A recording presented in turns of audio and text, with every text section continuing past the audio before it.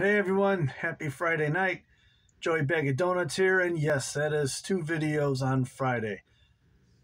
So, I've had this one for a little bit. Today, we're going to quick do Coca Cola Y3000 um, Meyer.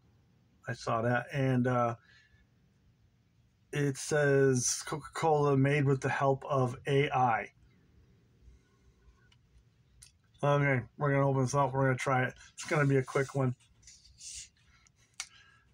because I want to add it to my drink. There you go. Made with AI.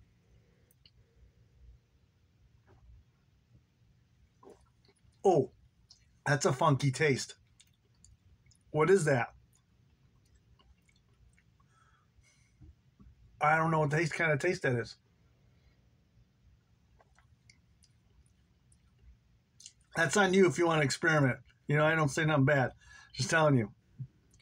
Um, it's Y3000. I don't know. I can't describe the taste because it just it's it's, a little bit cherry inside there. A little fruit. It's it's fruity. That it is. It's fruity. There you go. Try it. I mean, whatever. Just try it. Go see uh, Joey Bag of Donuts Instagram, Joey Bag of Donuts Facebook, and uh, a mixed bag of donuts YouTube. Have a great evening. Talk to you later. Bye.